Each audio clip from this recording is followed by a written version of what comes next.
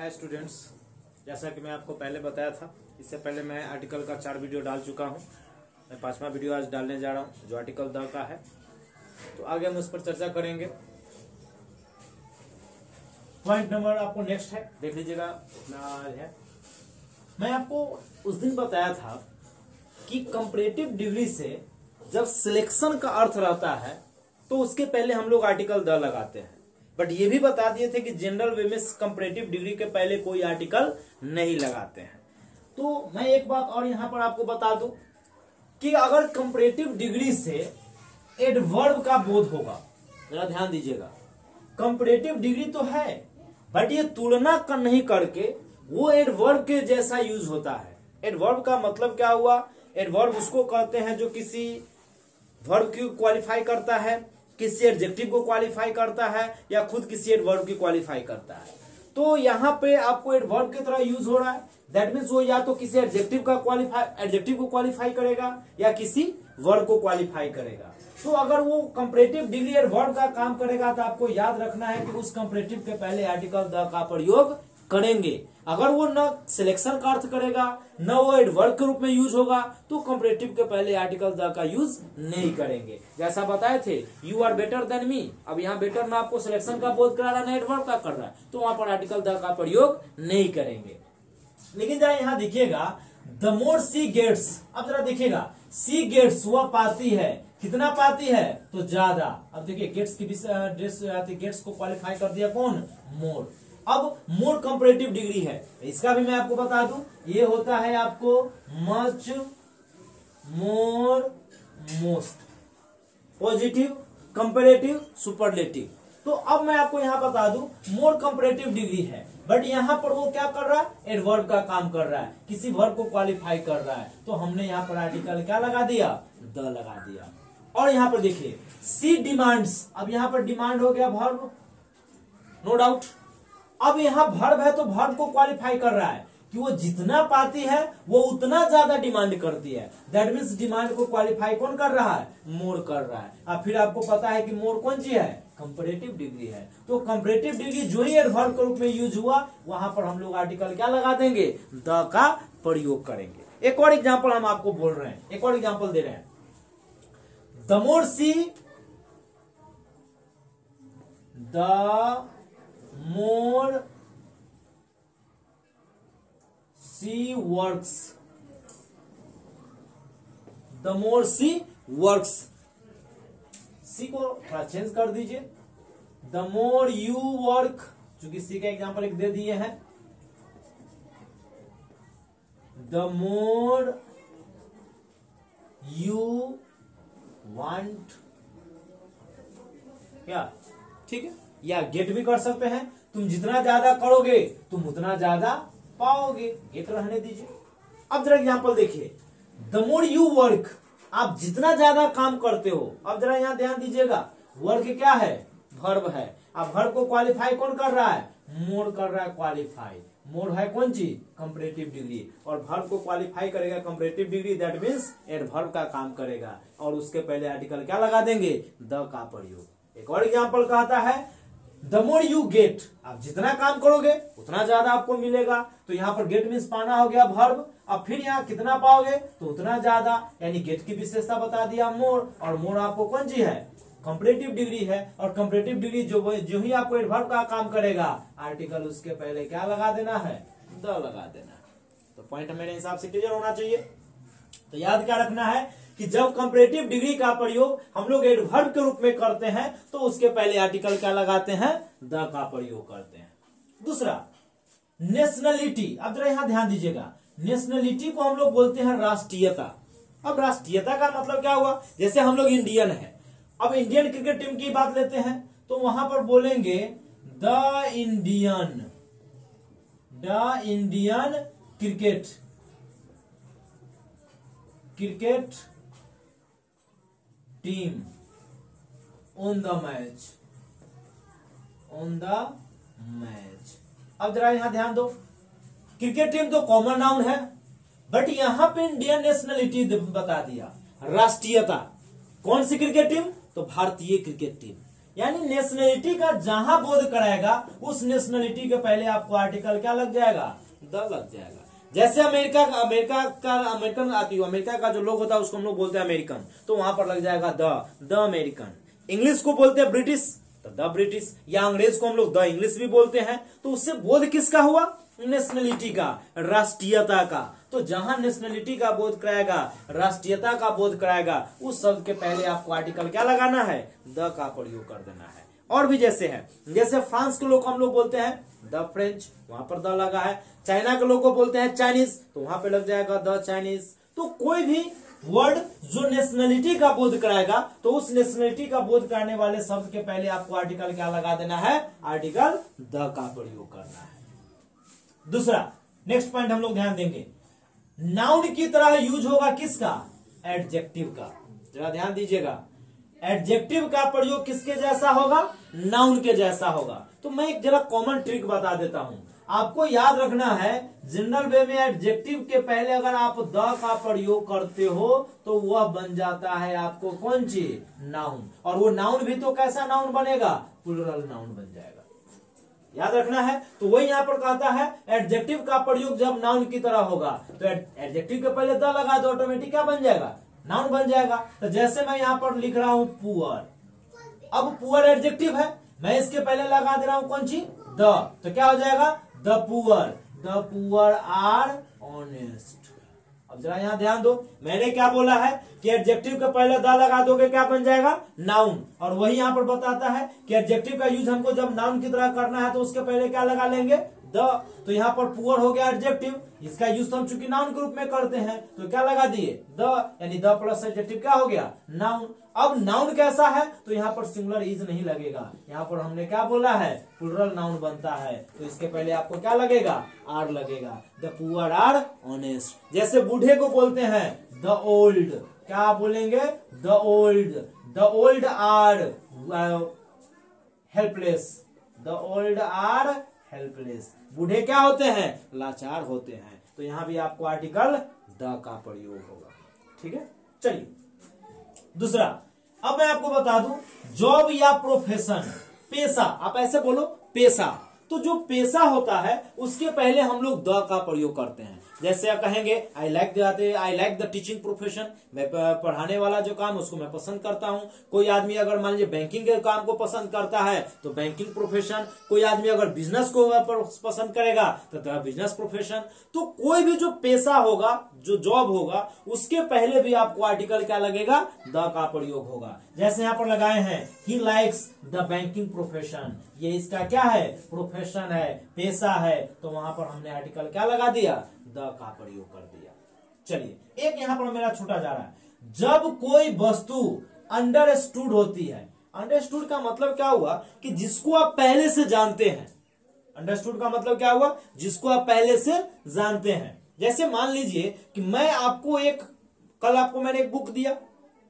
अब उस बुक को मैं कहूँगा, यार, तुम मेरी बुक लौटा दो। Please return my return the book यहाँ जो मैं बोलूँगा return the book the book लगाना मजबूरी क्या है? कि आप उस बुक को पहले से जानते हो। अगर नहीं जानते, तब बोलना पड़ता कौन सी बुक लेकिन मैं यहाँ जो द बुक बोल रहा हूँ, जैसे यहाँ पर बोलूँगा kindly kindly return return the book इसका मतलब क्या हुआ? That I gave you yesterday इसका मतलब क्या हुआ?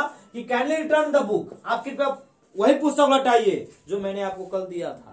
यानी उस बुक को आप पहले से जानते हो और उस बुक का जब मैं चर्चा करूँगा या कोई भी वस्तु जिसको आप पहले से जानते हो तो उसके पहले भी आपको आर्टिकल क्या लगाना है?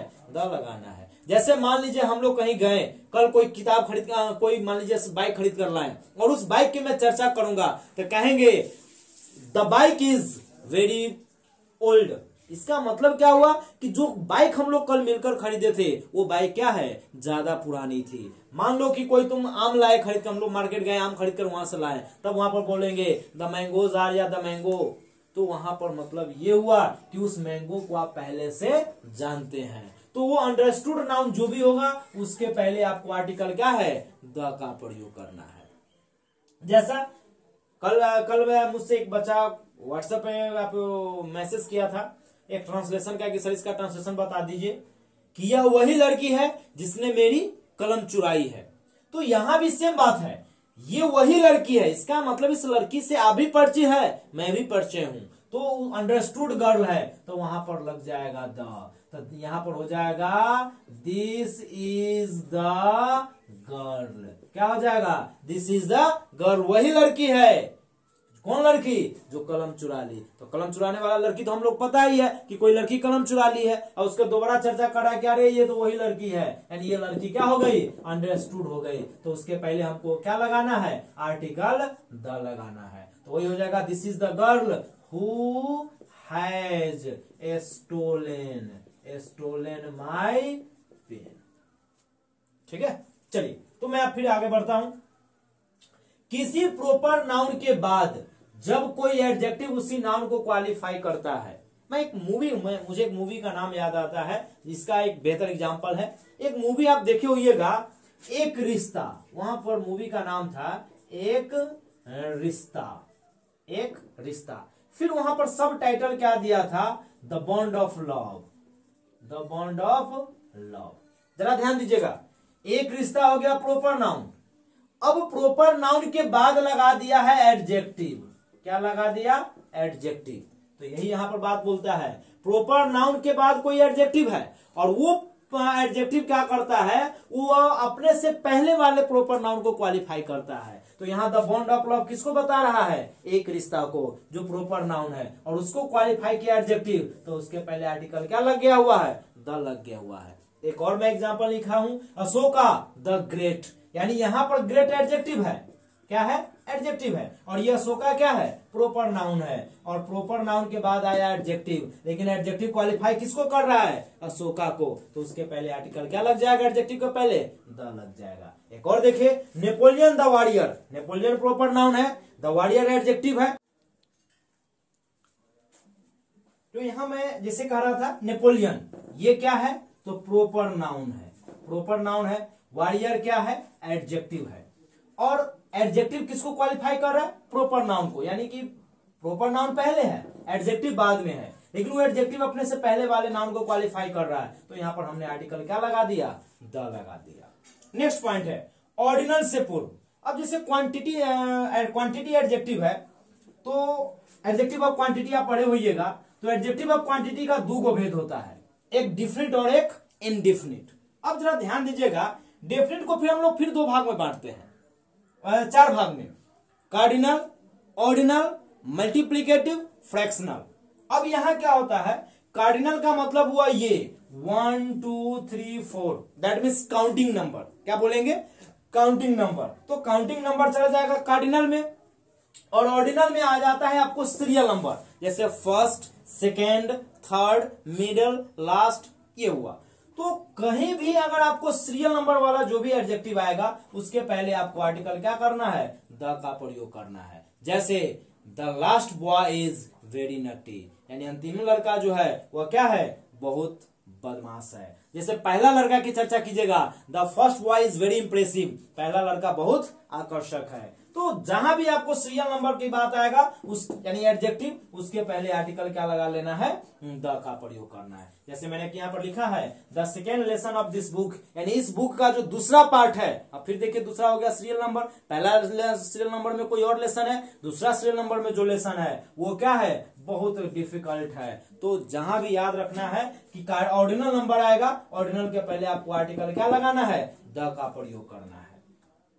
नेक्स्ट ध्यान दीजिएगा। किसी इन्वेंशन क्या ध्यान दीजिएगा?